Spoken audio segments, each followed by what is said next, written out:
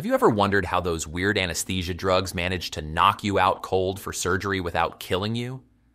It's like magic putting your brain on snooze mode. A long time ago, surgery was basically torture since doctors had no good way to numb the crazy pain. People either got strapped down fully awake or guzzled drinks to dull their senses a bit.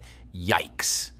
Thankfully, in 1846, an American dentist named William Morton became the first to use inhaled ether fumes to put patients in a sleep like state for painless procedures.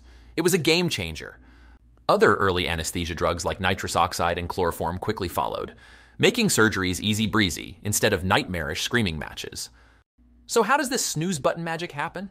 Well, when anesthesia enters your bloodstream, it disrupts the messaging signals between your brain and nerve cells. See, your brain normally uses special messenger molecules to activate or deactivate neurons in precise patterns. But then, these anesthesia drugs come barging in, jumbling up those signals. Either they amplify sleep promoting molecules like GABA to turn neurons off, or block wake up molecules like glutamate from turning them on. Bam!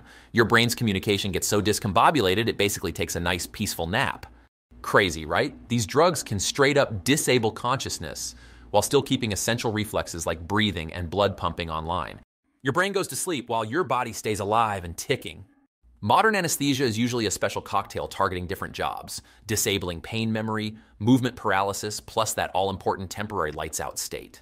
Too much, and you slip into a coma. Too little, and you may wake up mid surgery. Ouchie. That's why anesthesiologists are always monitoring dosage levels like hawks. The ability to flip a brain's awareness on and off while keeping bodily functions safe is a wild feat of medical science. Just think people used to chug ancient opium milkshakes before old timey bone sawing commenced.